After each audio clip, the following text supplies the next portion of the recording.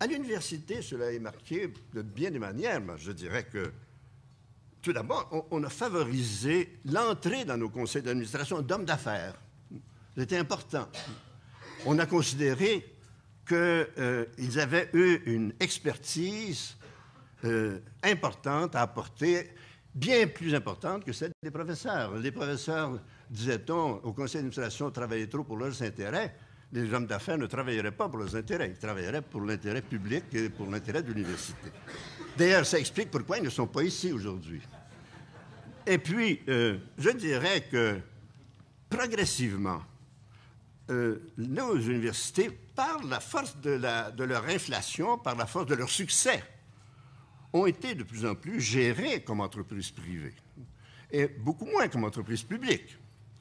Euh, elles, sont, elles, ont, elles, sont, elles sont bien sûr définies comme entreprises publiques, mais elles sont gérées comme entreprises privées.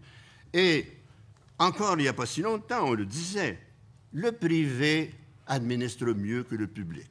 Ça, cette idée, elle s'est répandue comme si c'était une vérité, une vérité biblique presque. Euh, ou encore, euh, c'est le privé qui fait le mieux, le plus d'économies, et fait les meilleures économies, parce qu'on sait faire des économies dans le privé. On l'a bien montré dans la construction au Québec, à Montréal.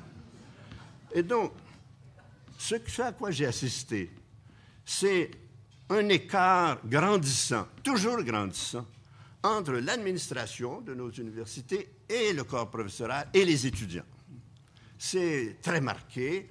Euh, je l'ai vu se croître, cet écart, euh, constamment. Un écart à la fois de, disons, d'administration par en haut, qui fait, que, fait que l'administration est, beaucoup par en haut. Elle n'est pas démocratique, bien sûr. Et par le fait d'une énorme bureaucratisation qui est le fait normal d'une très grosse entreprise que sont nos universités.